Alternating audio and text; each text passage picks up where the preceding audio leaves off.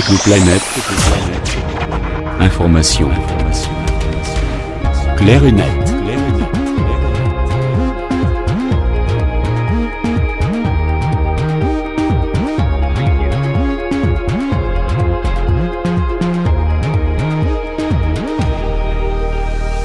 السلام عليكم ورحمة الله وبركاته. أهلا وسهلا ومرحبا بكم متابعي كوكب التقنية حيثما كنتم وأينما وجدتم. في هذا التسجيل سنتعرف على paramètres des curseurs المتعلقة ببرنامج NVDA سنرى اليوم إعدادات المؤشرات بجميع أشكالها على برنامج NVDA يعني curseur du clavier curseur de souris curseur de revue. وسنشرح كل واحدة على حدة. إذا أول شيء نستعرضه هو paramètres du clavier عن طريق NVDA contrôle K Paramètres du clavier dialogue. Disposition du clavier. Liste déroulant d'ordinateur de bureau réduit Alt plus D. هذه وضعية لوحة المفاتيح أو وضعية لوحة المفاتيح الخاصة بالبرنامج Disposition de clavier ordinateur bureau في لوحة المفاتيح يوجد هناك نمطين النمط الأول الخاص بأجهزة الحاسوب المكتبي desktop والنمط الثاني نمط أجهزة الحواسيب المحمولة والسبب يعود في هذه المسألة إلى مجموعة من الاختصارات التي تتغير مثال على ذلك في الاستعراض المسطح يعني screen review والذي يسمى revue de l'écran عندما نستدعيه بنمط الحاسوب المحمول يختلف الاختصار عن نمط الحاسوب المكتبي كل هذه. الأشياء سنتعرف عليها إن شاء الله تعالى في وقتها الآن ما يهمنا هو إن كان لديك حاسوب محمول ولا يحتوي على لوحة مفاتيح يستحسن أن تختار. ordinateur portable أما إذا كان لديك حاسوب محمول يحتوي على لوحة المفاتيح في الجهة اليمنى أو كنت تشتغل على حاسوب مكتبي يستحسن أن يبقى هذا النمط على. ordinateur de bureau نضغط tab cocher cocher. استخدام verrouillage majuscule كزر مصاحب لبرنامج NVDA كما قلنا سابقا وكما كنا شرحنا زر تشغيل وتعطيل التكبير سيكون زرا مصاحب لبرنامج ال NVDA ينصح بشدة أن يكون هذا الخيار coché. طبعا coché و non coché بال espace. tab cocher cocher. إذا كانت لدي لوحة مفاتيح في حاسوبي المكتبي أو المحمول يكون هذا الخيار محدد يعني insert du pavé numérique يعني زر insert مصاحب لبرنامج ال NVDA وزر insert معروف في لوحة المفاتيح هو رقم صفر عندما تكون لوحة المفاتيح معطلة tab. استخدام زر insert المدرج هذا الزر يكون بالنسبة لأصحاب الحواسيب المكتبية بجوار مفاتيح التحكم يعني page précédente و page suivante و fin و origine في الجهة اليسرى يكون supprimer هو الأسفل و insert ي- هو الذي فوقه مباشرة. وفي الحواسيب المحمولة يختلف الأمر حسب تشكيلة ونمط لوحة المفاتيح. نضغط tab. يعني صدى الطباعة أو ما يعرف بالأصوات يعني الحروف. عندما نكتب حروف معينة في برنامج NVDA بمحررات النصوص نسمع البرنامج يقرأ لي آه، الأحرف التي أكتبها. هذه المسألة متروكة للمستخدمين حسب تمكنه من سرعة الرقم ومن الكتابة. أنا شخصيا أجعلها non. لأنني عندما أكتب الحروف لا أريد أن يزعجني البرنامج بقراءة الحروف بشكل كبير. لذلك عندما أكون أكتب يكون البرنامج صامت ولكن عندما أضغط espace يقول لي الكلمة التي كتبتها. أضغط tab. écho clavier par mot يعني صدى صدى صوت لوحة المفاتيح كلمة كلمة. هي non coché أنا أقوم بتحديدها بال espace. إذا الآن عندما أكتب الحروف عندما أكتب مثلا السلام عليكم أكتب ألف لام سين لام ألف ميم لا يقول البرنامج أي شيء. ولكن عندما أضغط espace يقول لي السلام. كما قلت هذه الأمور متروكة للمستخدم. إذا أردت أن يقرأ لك الكلمات المكتوبة قم بتحديد هذا الخيار. إذا أردت أن لا يقرأ لك الكلمات التي كتبتها بعدما تضغط على مفتاح المسافة لا تحدد هذا الخيار. أما الخيار السابق الذي اسمه. يعني écho clavier par caractère يعني صوت أو صدى لوحة المفاتيح عبر الأحرف. إذا كنت تريد أن يقرأ لك البرنامج الأحرف التي تكتبها مباشرة اضغط على espace ليكون هذا الخيار محدد وهو يكون افتراضيا محدد. أنا قمت بإزالة التحديد عن الأول وتحديد الثاني. هذا نمط خاص بي أنا فقط. أضغط tab. مقاطعة الكتابة عندما يحدث شيء على الشاشة. عندما نكون نكتب بعض آه، الأشياء وتظهر رسالة محاورة وتظهر هذه الرسالة على الشاشة تنقطع كتابة الأحرف. يكون محدد وأتركه محدد صراحة لأنني لم ألحظ أي تغيير عندما قمت بإزالة التحديد.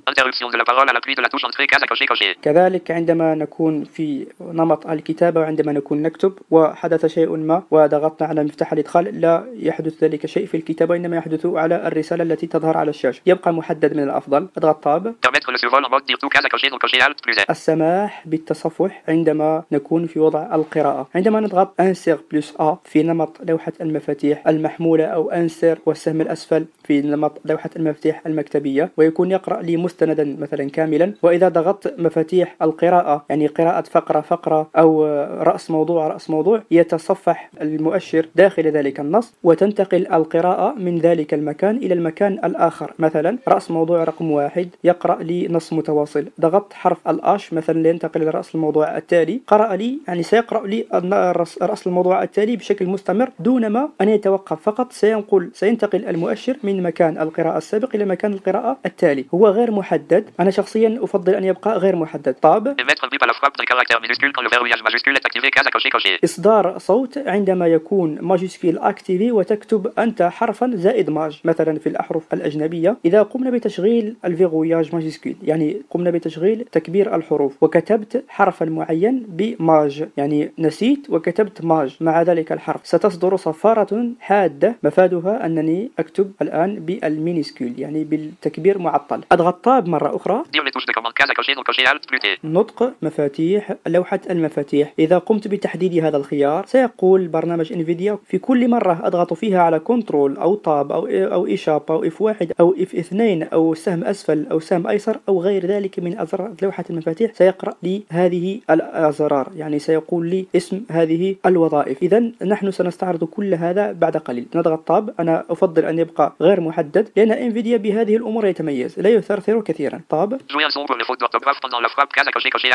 إصدار الصوت عندما أكتب في محررات النصوص التي تدعم التصحيح التلقائي وعندما أكون أكتب كلمة خاطئة يصدر صوت. ولكن عندما يكون في تنسيق النصوص أو في في إعدادات تنسيق النصوص محدد على الإعلام على الأخطاء الهجائية. هذا الخيار يبقى محدد أو غير محدد يعني كل حسب رغبته. عندما سنصل إلى الخيار ال- في التسجيل المقبل عندما سنتحدث عن إعدادات تنسيق النصوص سيتضح الأمر جليا. الآن يعني إذا أردت أن يصدر لك البرنامج صوتا عندما تكون تكتب كلمة وتكون هذه الكلمة خاطئة في تلك اللغة يصدر لك صوت. هو محدد آليا. نضغط طاب السماح لبرنامج NVDA أن يستخدم بعض الاختصارات الخاصة ببعض البرامج في بعض الأحيان يبقى محدد. إلى tab إلى OK bouton. الآن أنا قمت بإعداد لوحة المفاتيح أو بالخروج من إعدادات لوحة المفاتيح. إليكم بعض الاختصارات التي يشترك فيها جميع الأنماط يعني نمط لوحة المفاتيح المحمولة ونمط لوحة المفاتيح المكتبية. أول اختصار هو NVDA plus 2 الخاصة ب alphanumérique يعني اثنين التي تقع فوق الأحرف وليست في لوحة الأرقام NVDA plus 2 يقول. écho clavier par caractère activé يعني صدى الطباعة بالصوت مشغل نعيد الضغط عليه مرة أخرى NVDA plus 2 Écho clavier par caractère désactivé. الآن صار صوت الأحرف معطل عندما أكتب الأحرف لا يقول الأحرف NVDA ثلاثة Écho clavier par mot désactivé. صدى. صدى الكلمات معطلة par mot activé. صدى الكلمات مشغلة طبعا الأرقام التي أتحدث عنها هي التي تقع تحت المفاتيح الوظيفية. أضغط NVDA plus 4 نطق مفاتيح الأوامر أو مفاتيح التحكم. نضغط السهم الأسفل مثلا. flèche bas ce PC 2 sur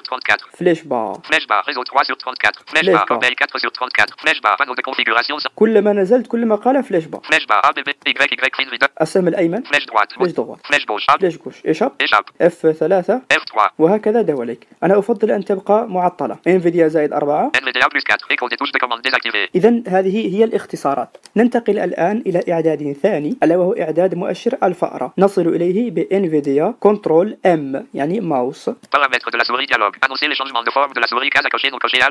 أول خيار هو نطق تغير المؤشر معطل عندما يتغير المؤشر مثلا عندما أكون أتجول بالفأرة عندما أستخدم الفأرة وهذا الأمر يخص ضعف البصر عندما أتجول بالفأرة وتتغير الفأرة يبقى يقول curseur modifié curseur normal curseur modifié curseur normal هذا الأمر مزعج قليلا لذلك أفضل أن يبقى غير محدد ولكن من أراد أن يجرب يحدد حتى يستطيع معرفة بشكل دقيق الفأرة وماذا يحدث لها بالتحديد في تلك الحركة tab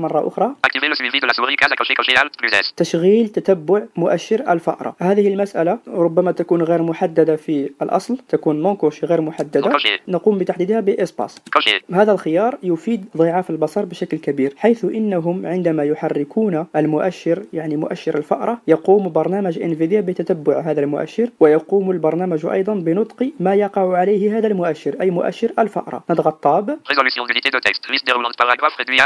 مقدار النص الذي يقرأه البرنامج عندما يقع المؤشر عليه يعني مؤشر الفأرة طبعا. ما هو هذا المقدار؟ هو فقرة. إذا غيرت ذلك بالأسهم سيكون سطر سطر. يعني البرنامج فقط سيقرأ السطر الذي يقع عليه المؤشر فقط وليست الفقرة كلها. نصعد كلمة كلمة فقط.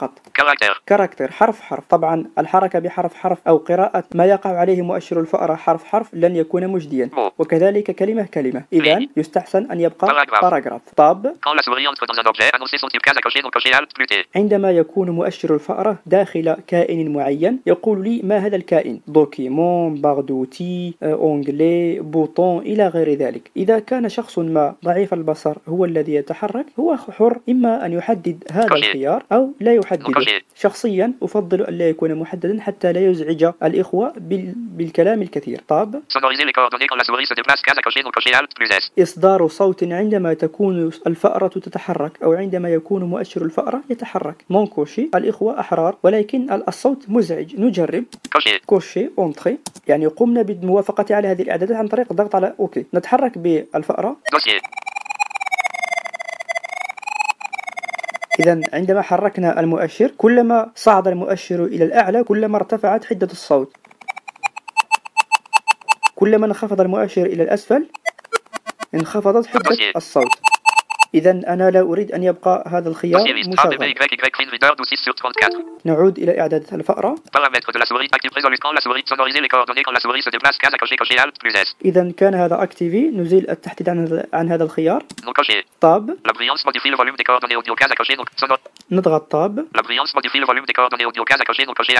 إذا كان الخيار الأول يعني أن تشغيل الصوت عند تحريك الفأرة محدد وقمت بتحديد هذا الخيار أيضا كلما اتجه المؤشر إلى جهة اليمين سمعنا الصوت في جهة اليمين عندما نكون نرتدي سماعات ستيريو. وإذا تغيرت أو تحركت الفأرة إلى جهة اليسار نسمع الصوت يأتي من جهة اليسار. هذا مرتبط بالخيار الأول. إذا أنا أقوم بتركه غير محدد. طاب. OK bouton. إذا الآن قمنا بالانتهاء من إعدادات الفأرة. اختصار تشغيل أو تعطيل تتبع الفأرة يكون بالضغط على NVDA plus M نضغط NVDA plus M suivi de la souris désactivé يعني إذا حركت الآن الفأرة لن يقرأ برنامج NVDA أي شيء. إذا ضغطت NVDA plus M suivi de la souris activé أتركه activé إذا قمنا الآن بالانتهاء من هذا الإعداد. نرى الإعداد المتبقي. أنزل بالسهم الأسفل. نفتح السمن بالسهم الأيمن. ننزل. رأينا هذا هذه الإعدادات في الحلقة السابقة. وفي هذه الحلقة نرى paramètres braille لم نتحدث عنها ولن نتحدث عنها إلا عندما يتوفر لي سطر البرايل ننزل.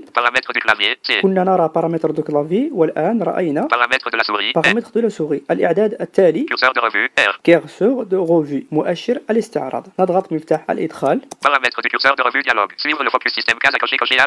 تتبع مؤشر النظام. عندما نحرك مؤشر النظام والذي هو الأسهم يتتبعه برنامج انفيديا إذا يكون محدد يبقى محددا دائما. تتبع مؤشر التحرير هو أيضا محدد. يعني عندما نتحرك آه، داخل النصوص التي نكون نكتبها أو نقرأها وتكون تلك النصوص قابلة للتحرير يتتبع انفيديا هذا المؤشر يعني مؤشر التحرير. هو محدد. نتركه أيضا محدد. يعني اتباع تتبع مؤشر الفأرة هو غير محدد. أفضل أن يبقى غير محدد. هذه المسألة وهذا الخيار لم ألحظ له أي إجراء إضافي أو أي تحسين في الوصول إلى المعلومات. نضغط tab الاستعراض البسيط simple هو محدد افتراضيا في برنامج ال NVDA حيث إن برنامج NVDA ينتقي العناصر المهمة حسب أهميتها وحسب تصميمها وهي التي يعرضها لك. وشخصيا أيضا عندما قمت بإزالة التحديد لم ألمس ولا تغير واحد عن هذا الأمر. إذا يبقى محدد tab إلى OK bouton. بهذا الإعداد نكون قد أنهينا تسجيلنا لهذا اليوم. في التسجيل الموالي سنتحدث عن ثلاث إعدادات أيضا. الإعداد الأول هو استعراض الكائنات présentation des objets الإعداد الثاني mode navigation ووضع التصفح الإعداد الثالث paramètres de mise en forme إعدادات التنسيقات أو إعداد التنسيق أو ما يقابله باللغة العربية إلى حين اللقاء بكم في التسجيل المقبل تقبلوا فائق الاحترام وعميق التقدير والسلام عليكم ورحمة الله وبركاته